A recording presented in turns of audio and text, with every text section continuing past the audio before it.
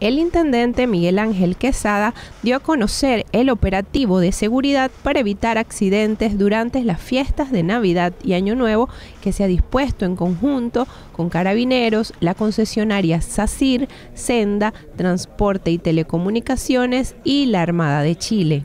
Recurso eh, eh, técnico como humano de la concesionaria más el recurso técnico y humano de eh, los servicios públicos para poder minimizar y contrarrestar cualquier situación que se nos pueda dar de riesgo en términos de lo que significa esta, esta fiesta.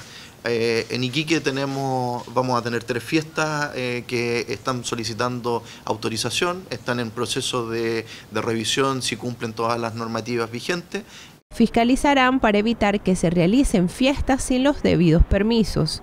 Unir ¿no? lo, que, lo que son las facultades de carabinero, la Armada, en términos de la fiscalización que vamos a, vamos a tener.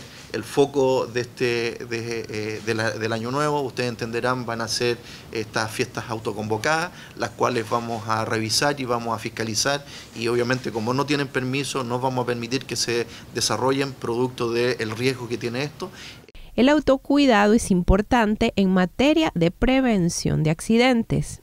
Pedirle, ¿no es cierto?, que le transmitamos a nuestra gente que va a conducir que no beba y se va a beber que pase las llaves, eh, que obviamente eh, se van a estar fiscalizando eh, con alcotés y con narcotés y por lo tanto menos pueden conducir con, con algún elemento, ¿no es cierto?, que, que distraiga a la conducción. Otra de las recomendaciones es viajar descansados con la revisión técnica al día y utilizar el cinturón de seguridad, entre otras medidas. Por otra parte, está permitido reunirse en la playa aunque no haya show de fuegos artificiales, recordando que no se puede hacer fogatas, acampar ni tampoco ingerir alcohol o drogas. Bueno, la playa, como tú ves, no, va a tener este cierre que es permanente, por lo tanto, si hay gente que se va a apostar a la, playa, eh, yo creo que eh, nosotros no, le vemos ningún riesgo, salvo, ¿no es cierto?, que, cometan alguna infracción.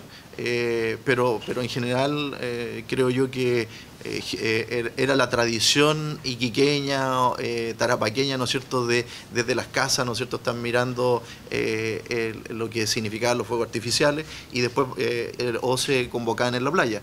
Yo creo que esta vez va a haber menos gente, pero, pero creo yo que la playa es un, un bonito lugar donde, donde pueden llegar. Según la planificación de carabineros, se definieron 33 puntos donde se fiscalizará permanentemente.